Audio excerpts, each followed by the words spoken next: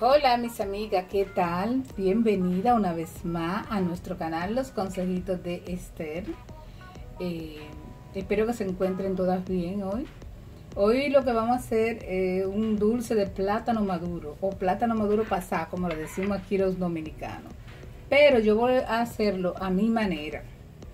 Lo primero que yo voy a hacer es poner a hervir, a poner a freír los plátanos para la cual yo tengo el sartén bien caliente y entonces yo lo primero que hago es ponerlo a dorar. Y luego lo agregamos a una mermelada que ya está puesta también.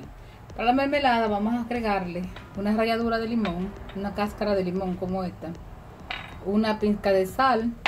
Lleva un, un, una rama de canela pero no tengo en rama y la tengo molida. Se la voy a agregar molida ya le agregué como una cucharada de clavo dulce porque ya está puesta. Entonces, mientras tanto, vamos a poner a freír los plátanos ahora.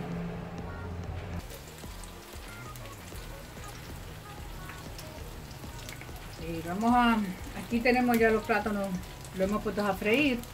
Vamos a agregarle la canela a la mermelada, la pica de azúcar, de sal, ya tiene su azúcar puesta, como debe ser y vamos a menearla, dejarla que ella vaya espesando un poco en lo que los plátanos se doran. Vamos a mover los plátanos, que ya lo echamos.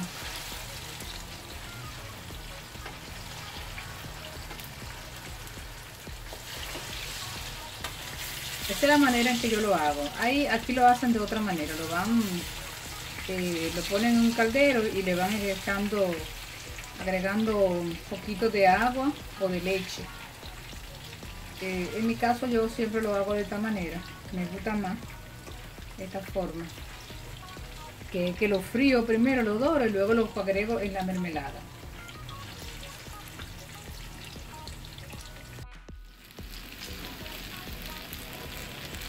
Están friendo nuestro plátano, mire que cuando tenga así doradito, ya yo lo voy a piar. Cuando tenga así, en ese punto doradito, es que lo vamos a retirar ya del fuego. Entonces luego lo vamos a, insertar al caramelo. Ya los plátanos están listos, están, ya se frieron todos.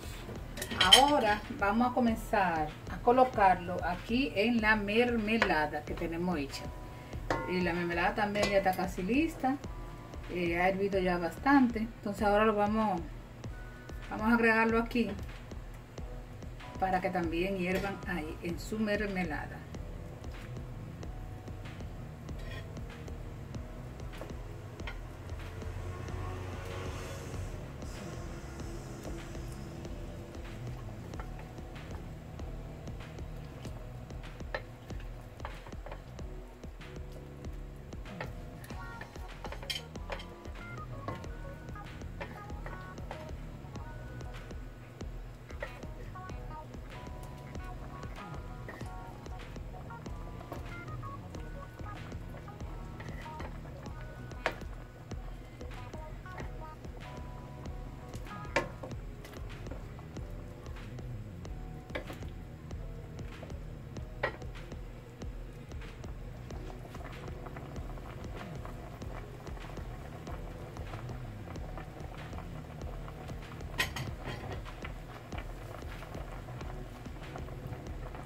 Entonces, como ustedes pueden ver, van a hervir ahora por 10 o 15 minutos. Ya como en 10 o 15 minutos están listos. Y ahí vamos a mostrar. Esta es la manera de yo hacer mi dulce de plátano. Este es un postre que se acompaña con un plato salado. Generalmente aquí los acompañamos con locrio, con moro. Eh, siempre con un plato salado. Entonces, eh, Vamos a darle el tiempecito que dijimos y luego vamos a ver. Bueno, miren ya cómo están los plátanos. Ya ese dulce de plátano está, mire, en su punto. Ahora lo vamos a apagar para que no se nos reseque demasiado, para que queden bien jugositos. Pero ya eso está listo, ya ustedes vieron los pasos. Yo espero que ustedes también lo hagan de esa manera.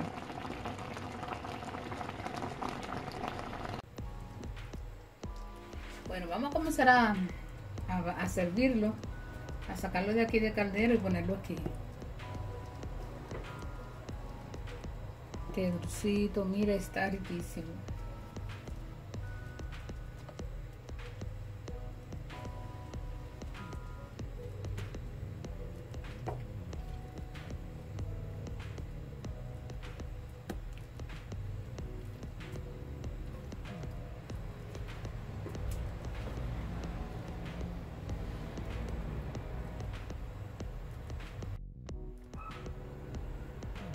Aquí está, mis amigas, mira aquí nuestro dulce de plátano maduro o plátano maduro pasado.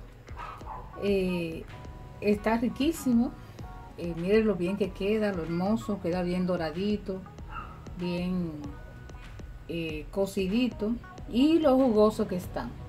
Así que yo espero, mis amigas, que ustedes lo puedan preparar, que lo puedan hacer, acompañarlo con lo que ustedes quieran. ese dulce usted lo puede comer solo como así también lo puede, como le decía, que aquí en otro país generalmente los acompañamos con locrio, locrio de cualquier clase, con moro, con arroz y habichuela, que también queda riquísimo. Mire, una carnita de red, unas habichuelas guisadas y un platanito, un dulcito de platanito maduro al lado. Mire, no hay cosa como esa. Eso es sumamente sabroso.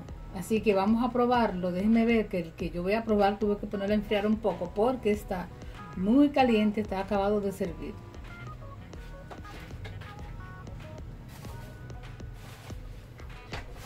Pero de todas maneras, mire, yo quiero que ustedes vean. Mire qué ricura.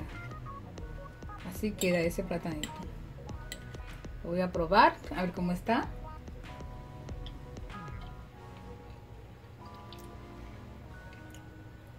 Bueno, mis amores, riquísimo. Prepárelo de la manera que usted quiera, para comerlo solo o para comerlo acompañado de un plato salado. ¿Mm?